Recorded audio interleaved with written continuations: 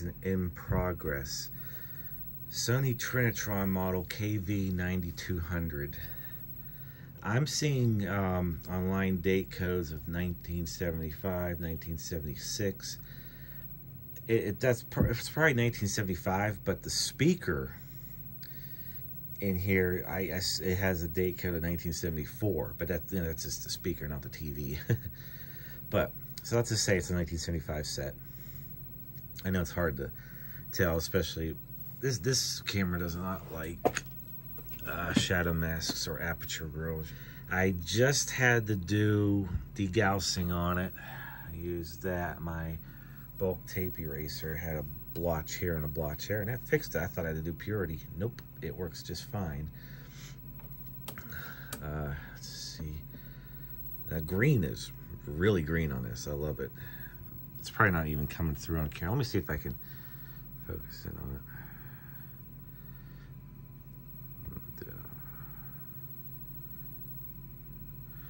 All right, and we'll do, oops, uh, blue. That's really blue, magenta, white, um, yellow,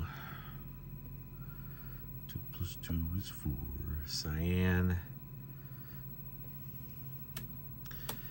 uh, the yoke might be sitting crooked, and we got some pin cushion stuff that needs addressed. Everything appears to be working as it should. Convergence isn't too bad. Uh, background definitely needs adjusted. It's reddish. Color bars look fantastic. Yeah, it's sort of auto-correcting, but this is red. I actually have it on UHF 14. I'm waiting for eighth inch to F-type connector. That's how the VHF uh, input is on this set. Uh, original antenna was completely busted off, so I had to remove that. This TV was a little beat up, but I just got done cleaning it up and testing it out now. All the pilot lamps look good. It looks like, um, I forget the picture of this, uh, you have your contrast control. It looks like it does have instant on that you pull out, but of course it's pushed in. But it appears to be nice and bright still. But it's actually on UHF 14. That's the only thing I can find wrong with this set. Um, is there's a there's a busted gear in there. Not for the tuner itself. The tuner works beautifully, as you can see here but uh, it does not turn the, the channel number. It's stuck on 21. There's the gear right there, broken in half. So when I got this, it was absolutely filthy, covered in black greasy dirt. Outside was horribly scuffed up. Um, so I did it. I took the chassis out and the entire thing went in the parts washer because well daddy bear puts it in the dishwasher and it comes out looking like brand new now this is what i mean okay this is full of those stupid purple matsushita caps and they're all looking bad but this is a perfect example where esr is good but the uh, capacitance is bad so you can't always go by an esr meter esr value alone when checking it What's this? A 330 microfarad only reading 118.4. Yeah. And this is another cap I pulled off where the you can tell it's going to be bad when the outside um, label has shrunk on it. It's a 1 microfarad. Open circuit. Now, as you saw when I started this video, the TV did work. And even after making adjustments, it still worked acceptably. But I noticed when you had turned up the brightness, the user brightness, or change channel, there was vertical fold over up here. Or it looked like it wasn't blanking, one of the two. And the, uh, the retrace lines were showing. So, yeah, you know, in typical fashion, you didn't check these. I mean, just like that first one I showed, you could have taken ESR meter to it and got a good value. It's hard to test capacitance in circuit. You got to take them out. And you could use this TV and you will notice quickly after a little bit of use, it's going to start failing rather quickly. That's why you got to use your judgment when you do this stuff. And I noticed there's two camps of people with that with the capacitor thing. You got the ones that change the caps and magically think it's going to work regardless of the problem, or the other camp and I'm, I do not care. I'm, I'm going full blast on this.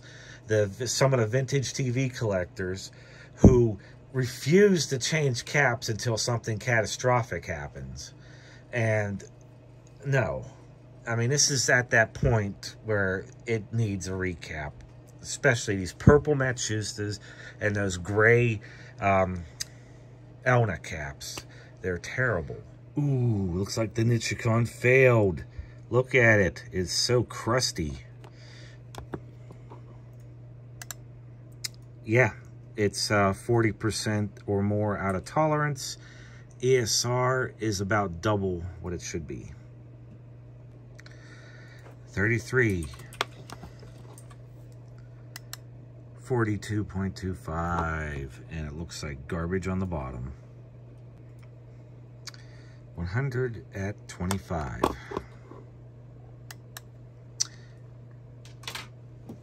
just slightly out of tolerance but you know it's not gonna last much longer 2.2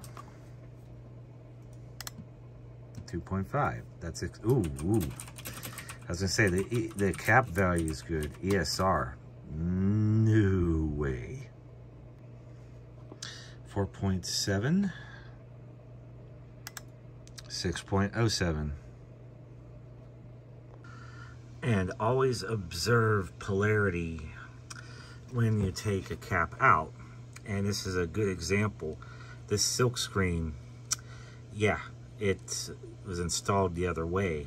Negative going to the on the right side, opposite what this says. So it was a revision of some kind, I guess, or a mistake from the factory.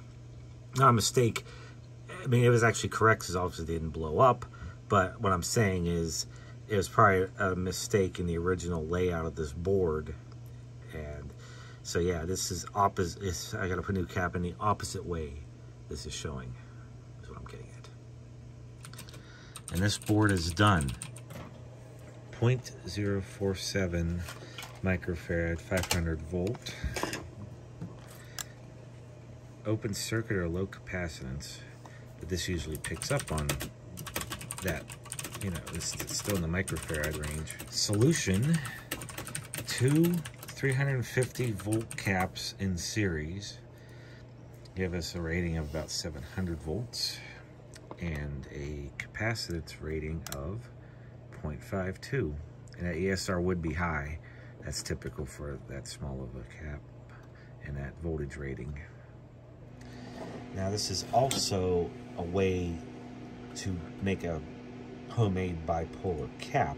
However, you reverse it so, uh, let's just say we'll make both, you connect both negatives together and these will be the two positives right here.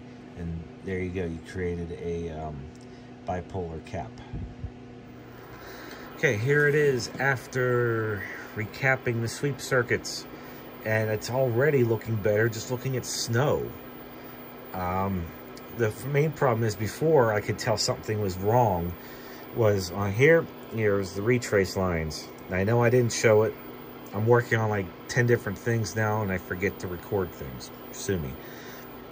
So, uh, even, and as I say, I turned the uh, brightness control up, contrast all the way down, so all you're just turning up, you see the background, again, those retrace lines. So yeah, there's definitely problems. We found a bunch of bad caps, but hey, you know, I don't have to worry about this again probably till I'm in my 90s. Okay. Yeah, I'm gonna have to readjust my screen setting now because uh, it's in the middle now and the background's completely lit up.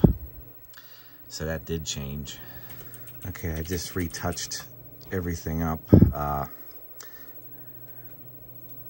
had increased the vertical height just a little and tweak the horizontal centering control, which is now exactly in the center of its travel. So we obviously know we fixed a bunch of issues there.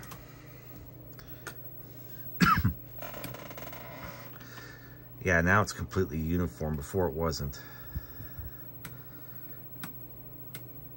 I got the contrast down a bit, but that looks really good.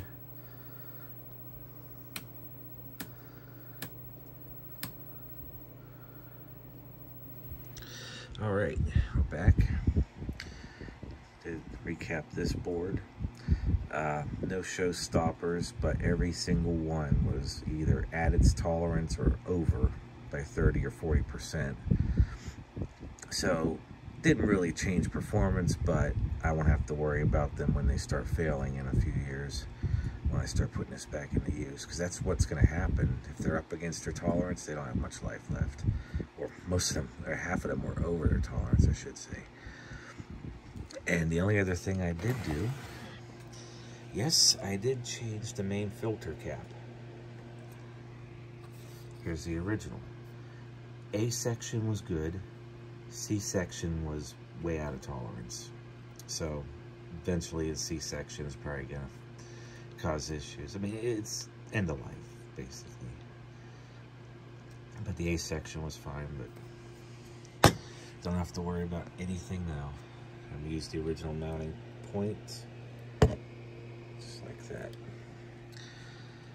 So now I'm going to reassemble. And here it is, the completed set. Ah, before I get into everything, I'll recap. Uh everything I had done. Sweep circuits definitely needed a recap. We had uh, caps with their outer uh, labeled on them, just shrinking. Obviously got hot. Uh, caps that were open, uh, no shorted caps, ESR through the roof. Definitely needed a recap on the sweep. And that purple Matsushita cap on the neck board. On this side here with the uh, signals, okay, every cap in that thing, there weren't any what I would deem good. I mean, technically it would work, but they're all 20 to 40%, some were 50% or more. Here's my thing.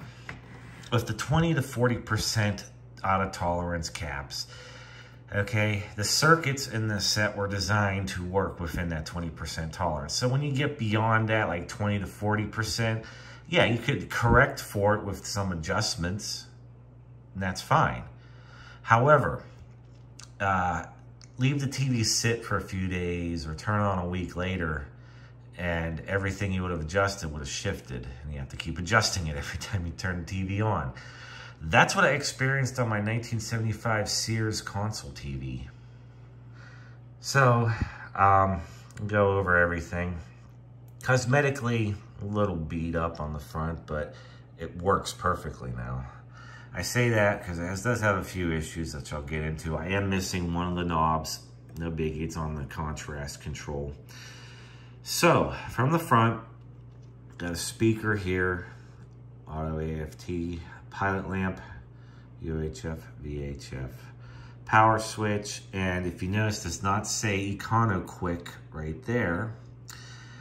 This is an older version of the same model it actually does have instant on. Defeatable with the switch on the front. That's what quick start pull on means. Right now I have it on just to demonstrate, but naturally I will not be using it. Now, on top is standard controls, hue, color, brightness, vertical, auto AFT, a chrome plated metal handle. Yeah, if you want to why these TVs weigh a ton, it's because of the aperture grill.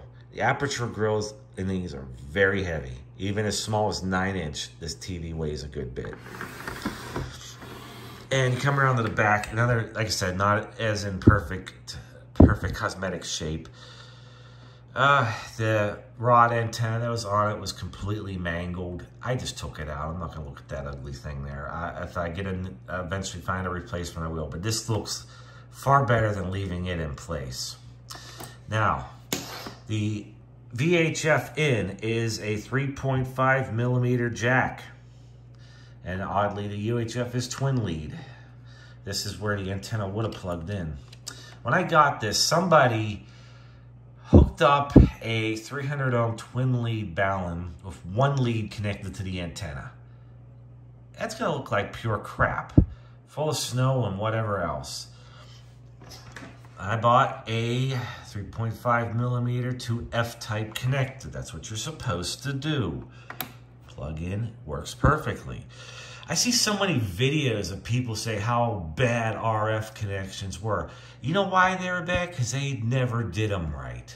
I mean, they either had loose connections using cheap, like Gemini branded RG59 cables, um, I've seen one TV where they had like five or six matching transformers in a row for no reason.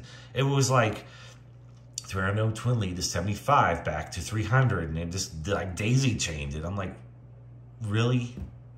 Really? I mean, every TV I got with RF and I do it correctly with, you know, this is RG6 cable, looks 100%. That's all I'm gonna say. That's just my thing. I, I have a lot of um, pet peeves, and that's just one of them. It just annoys the shit out of me. Horizontal size, vertical linearity, vertical size. Over here, green, blue, and red background, which is just your bias controls. That is the screen control, as in G2. And uh, let me see, the focus is else. Oh, the focus in this has three fixed positions.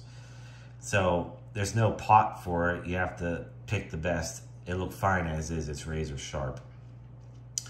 Uh, and the horizontal static convergence is actually on a tripler in there, which I adjusted. This thing, here's the thing. I do have some Trinitrons that I did buy off a friend but I haven't used them much because they need work. Or the one I, is a 15 inch and I just haven't, I, I like to go through my sets before I, you know, do anything. Um, and I will say, since this is the first one I made 100%, I am very, very impressed. Near perfect convergence, corner to corner. The focus is razor sharp brightness, of course, yeah. So yeah, I'm definitely a Trinitron fan. Um, and especially I had more sooner. But that said, the TVNS uh, deserves a Betamax, another far superior format. But just to demonstrate, I have a tape I had recorded in 1999, and uh, this VCR is the SL2000, and I actually have two of these. All right, so here we go with the instant on on.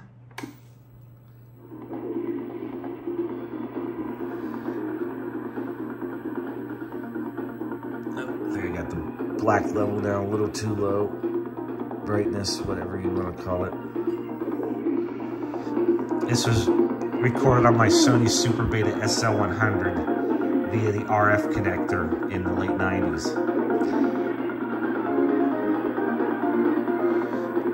Now the speaker in this is just a small speaker, and I'm going to show that later. Um,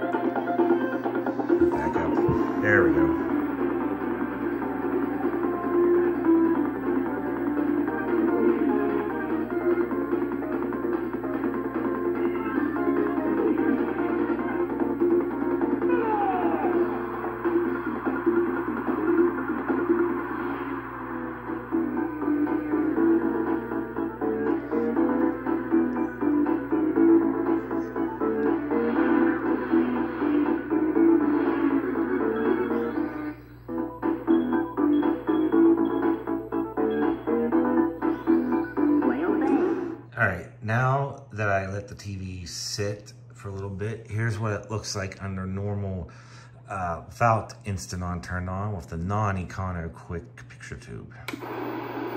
Oops, I stopped the tape. No problem.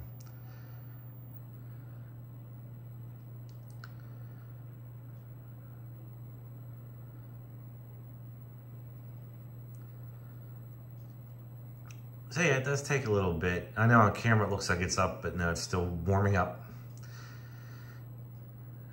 They're starting to stabilize now.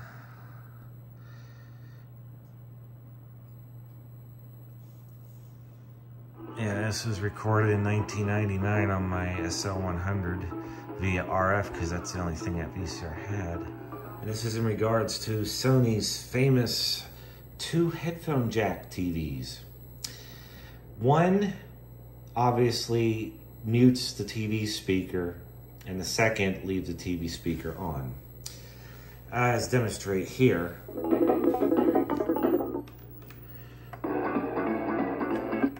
See, the top one mutes it because of your headphones. The bottom one doesn't. Here's one thing everybody seems to overlook. This TV was back before VCRs were a commonplace item. I mean, 1975, as in this TV, this TV may be a 74. Because uh, I see some 1974 dated components in it. But that said, uh, you know, VCRs weren't that common, so people would hook their tape recorders of whatever variety to their TV speaker line out. So here's what I'm gonna do. I have an attenuating cable. I, this is, I have vintage, proper vintage Sony tape recorders, but are waiting to be restored. Um, this is my 1989 cassette corder TCM 818. Uh, and the thing that's weird is this actually uses the exact same speaker as this TV here. This was a entry level unit. In fact, it doesn't even use Sony's own mechanism. It uses the full auto stop version of the Tanashin. But you gotta give Sony some credit. They did not boast their features like JPX does. Now this is more just a dictation type tape recorder in terms of quality. But I'm using an attenuating cable into the microphone in jack just for demonstration here. And we'll hit record and adjust the volume up.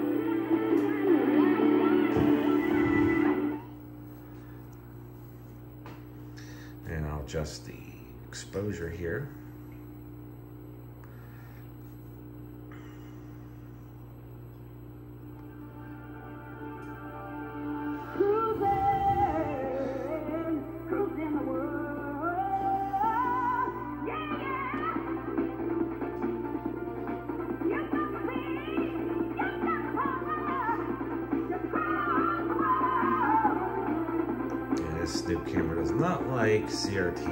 Can't get this to focus right.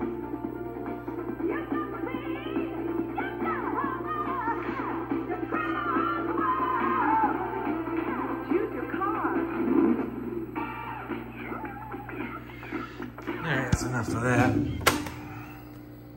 So we'll turn it down.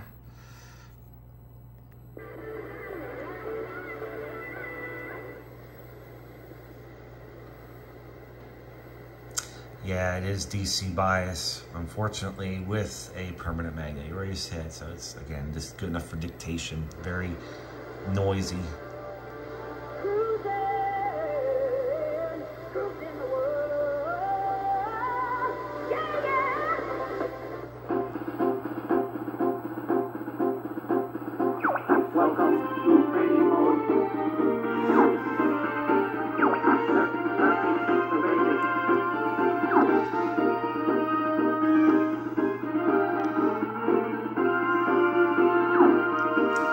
Will say, for handling video games, corner to corner, perfect convergence, razor sharp focus, yeah, I could see why these Trinitron are popular. But yeah, when I, here's the thing, a lot of these older TVs work just as, work amazingly well.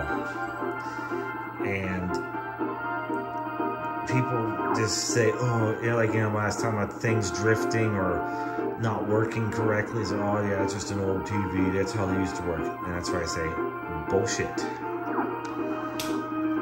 I mean, come on, the 1955 Muntz, the sharpness on it is amazing.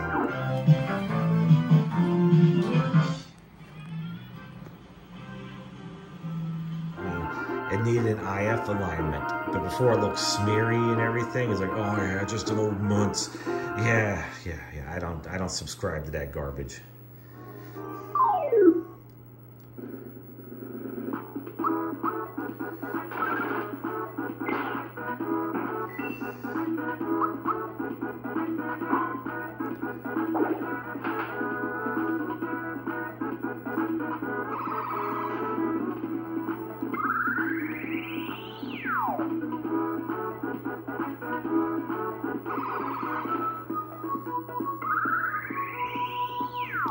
Believe that was the end of the tape right there. Yeah, one, one hour and 30 minutes.